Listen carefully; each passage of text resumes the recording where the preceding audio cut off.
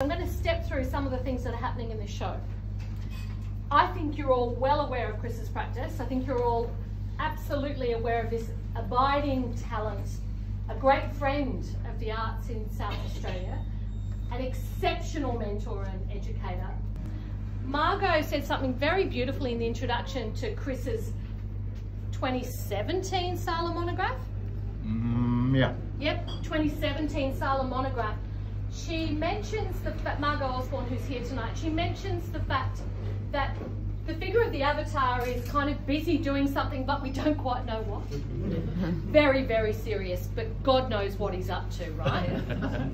I feel like this new body of work, particularly the return to Pulcinella, gives this sense of agency to the figure.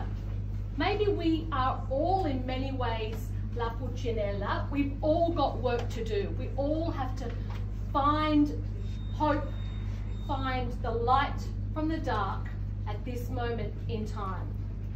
So whilst there's a sense that we are here on comfortable ground with Chris's current exhibition, there's also a sense that it's leaning into something incredibly focused and new without being didactic, full of hope, without directing us to a particular way of thinking and working.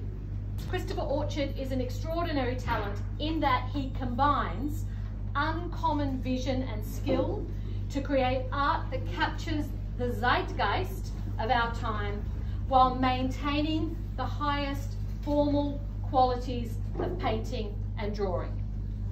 Reisenberg is essentially saying, here is an artist who speaks to the spirit of our times whilst doing it with incredible kind of facility, with incredibly astute technical prowess.